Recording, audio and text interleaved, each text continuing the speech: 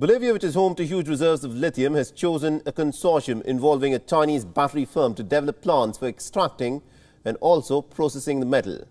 The deal to help in the development is, of course, huge, but largely still untapped reserves of lithium.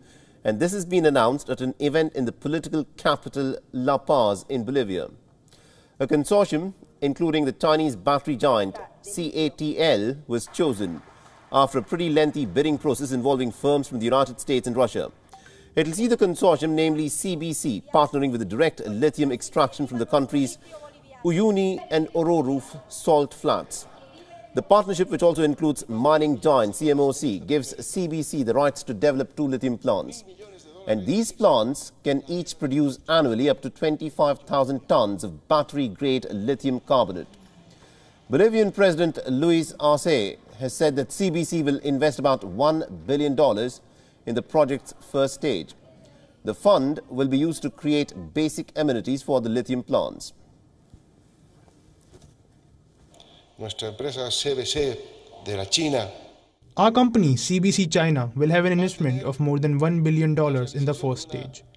$1 billion that will help improve electric energy at the places where it will establish roads, basic services, conditions for construction of the plants, that will produce the lithium cathodes and batteries.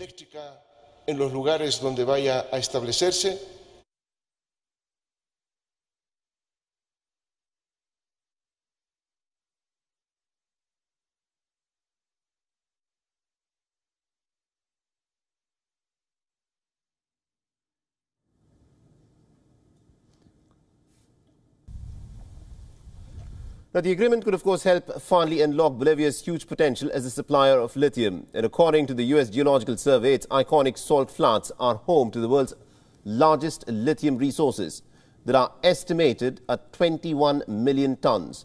But the country has got almost no industrial production or commercially viable reserves. Now, this ultralight metal is used in batteries that are needed to power the global shift to electric vehicles. However, its mining projects will of course take many years of gestation and there are doubts that remain around the direct extraction technology that is presently being used.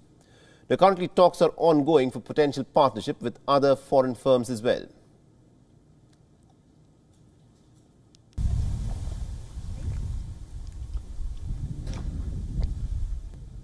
WION is now available in your country. Download the app now and get all the news on the move.